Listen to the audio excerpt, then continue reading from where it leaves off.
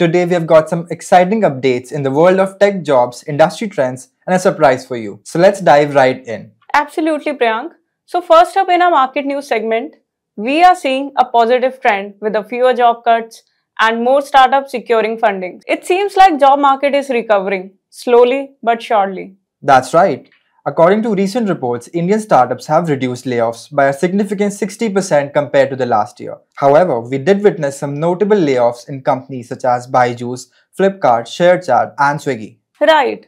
So not just India, even the globally companies like Apple, Amazon, Microsoft, and many more big names are facing a downsizing.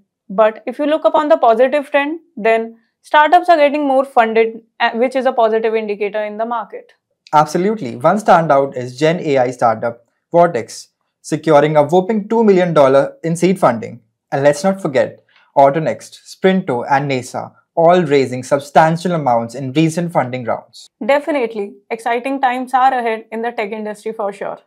Now, let's switch gear to the latest job updates on GeeksforGeeks portal. Our first job is for a software engineer Android posted by LinkedIn.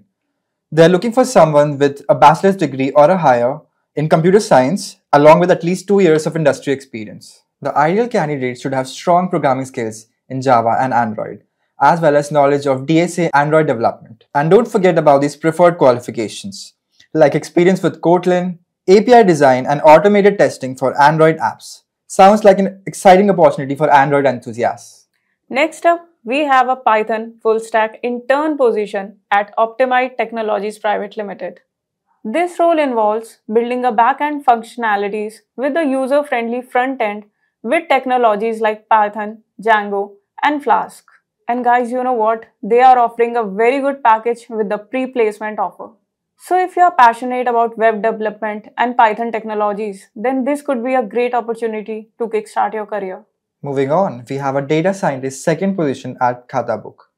They are seeking someone with more than two years of experience in manipulating data sets and building statistical models. This role involves working with stakeholders to drive business solutions through data analysis and predictive modeling. If you have a knack for problem solving and drive to master new technologies, Khatabook could be the place for you. If you are passionate about crafting a user-friendly web experiences, then PhonePe is the place where you can make the right impact.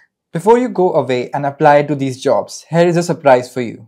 Yes, we will be reviewing your resume in the next video you have to go to description box, find the link attached, submit your resume. We will be picking up the first 5 candidates who will get their resume reviewed in the next video. So do go now and submit. So folks, it's a wrap up for today. So these are just a few of many exciting opportunities available at the GeeksforGeeks jobs portal. Be sure to visit the respective job pages for more details. And don't forget to stay tuned for our next episode for more job updates, resume review and industry news.